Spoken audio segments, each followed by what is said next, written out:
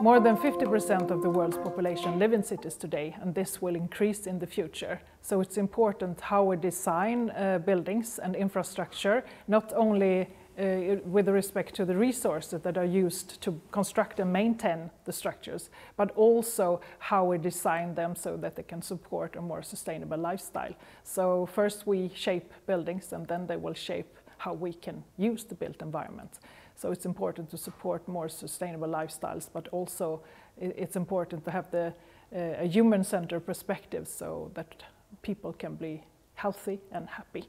For this to happen, we need a holistic approach. We don't only need to, uh, to engage architects and engineers, we need to engage uh, a broader perspective of knowledge areas and also different actors in society. We need to engage users, politicians, the building industry, uh, developers, uh, and together we have to create a vision, a positive vision, something we, we're heading towards, and we have to work together to realize this.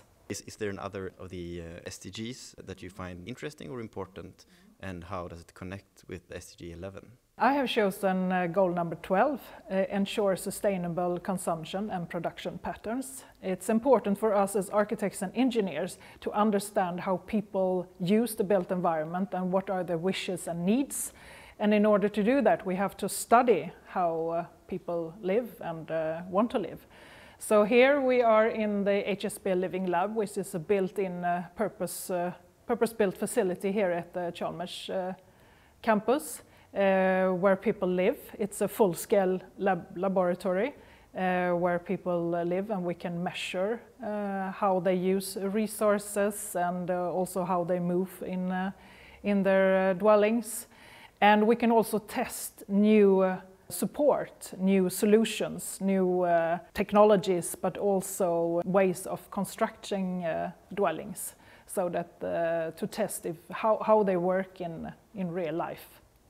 So for example, in my research, uh, we're working on the, a more circular kitchen at the moment, and we will build here a full-scale uh, prototype.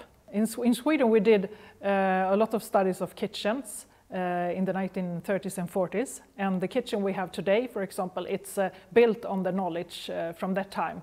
But today people live in very different ways. We have different cultures, uh, different uh, family constellations, and we really need to have uh, insight studies of how people want their kitchen to be signed today, not only for serving their purposes, but also to find solutions which are more circular, where people can adapt and uh, make it more, I mean, flexibility is something which is very important for people today. Flexible in that sense, that it can be rebuilt by the owner, take out parts and uh, put new pieces. It can be the whole, whole, whole parts of the kitchen or it can be just uh, doors. And then when they change that part, that part should be taken back again in the system. It should be reused not only transformed into energy or burnt.